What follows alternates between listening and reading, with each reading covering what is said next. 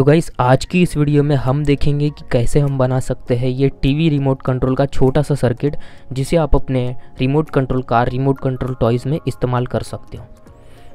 तो गाइस सबसे पहले यहाँ पे मैंने ले लिया है एक transistor B D one forty जिसका नाम है, एक IR receiver one seven three eight number वाला, और एक कैपेसिटर जो 470 माइक्रोफेरेड का होगा, जिस 16 वोल्ट का। तो गाइस इन तीन कंपोनेंट की मदद से आज हम ये छोटा सा सर्किट बनाने वाले हैं। सबसे पहले ये जो ट्रांजिस्टर है, इसका चमकीला हिस्सा ऊपर की तरफ़ करके मैं इसे हेल्पिंग हैंड में लगा लूँगा।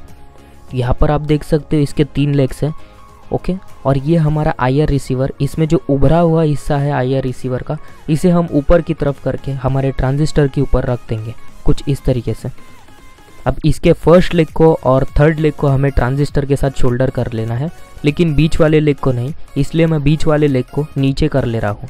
यह हमारा ट्रांजिस्टर है, जिसके लेग को मैं नीचे की तरफ़ बेंड कर ले रहा हूँ कुछ इस तरीके से। जैसा कि आप स्क्रीन पर देख सकते हो, यहाँ पे आपको शो हो रहा होगा। मैं इसे वापस से हमारे हेल्पिंग हैंड में लगा लेता हूँ। अब हमारा जो आयर रिसीवर है, इसका भी मैं जो बीच वाला लेग है, उसे ऊपर की तरफ़ बेंड कर लेता हूँ, कुछ इस तरीके से। अब इन्हें मैं डायरेक्टली इनके फ़र्स्ट लेग को और इनके थर्ड लेग को एक साथ शोल्डर कर लूँगा। अब यहाँ पे मैं जैसे शोल्डर कर रहा हूँ, कुछ इसी तरीके से आपको भी शोल्डर करना है। वीडियो पसंद आने पर दोस्तों लाइक ज़रूर करिए। अब यहाँ पे देखिए इसके जो लेग्स है, काफ़ी ज़्यादा बड़े हैं तो मैं नेल कटर की मदद से यहाँ पे इसे कट कर रहा हूँ। ये जो बीच वाला लेग है, इसे भी हम थोड़ा सा श्रिंक कर लेंगे कुछ इस तरीके से। क्योंकि हमें जो कंपोनेंट बनाना है हमारा, वो काफ़ी छोटा बनाना है इस वजह से। तो यहाँ पे जो हमारा कैपेसिटर है, इसके भी लेग्स को मैं थोड़ा सा कट कर लूँगा नेल कटर की मदद से। अब यहाँ पे दोस्तों ये इलेक्ट्रोलाइटिक कैपेसिटर में माइनस टर्मिनल के लिए स्ट्रिप दिया होता है। तो इस स्ट्रिप को आपको लेफ़्ट हैंड साइड की तरफ़ कुछ इस तरीके से रख के शोल्डर कर लेना है। दोस्तों, इस सर्किट का डायग्राम आपको डिस्क्रिप्शन में एक लिंक है, उस लिंक पे जाके एक फ़ोटो मिलेगा, उसमें आपको डायग्राम मिलेगा। तो बेफिक्र रहिए, अगर आपको वीडियो में देखकर वायरिंग समझ नहीं आ रही तो आप नीचे देखकर डायग्राम में वायरिंग कर सकते हो। अब यहाँ पे दोस्तों मैंने इसे पावर देने के लिए एक छोटा सा जे कनेक्टर लिया है। अब इस जे कनेक्टर को हम डायरेक्टली इसके फ़र्स्ट लेग पे शोल्डर कर लेंगे। और इसका जो माइनस टर्मिनल है, वो आयर रिसीवर के मिडल वाले पिन में शोल्डर होगा। यहाँ पर मैंने एक छोटी सी मोटर ले लिया हूँ। आपको ये जो कंपोनेंट है चला कर बताने के लिए कि ये किस तरीके से वर्क करता है।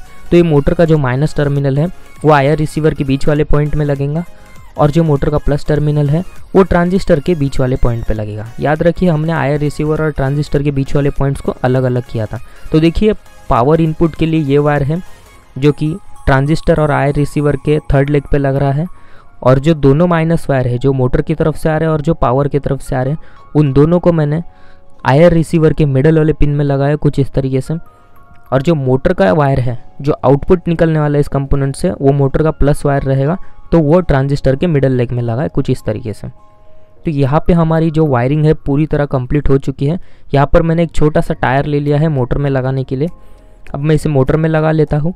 और अब हम यहाँ पे बैटरी भी अटैच कर देंगे इसमें। यहाँ पे मैंने छोटी सी 3.7 वोल्ट की बैटरी लिया है।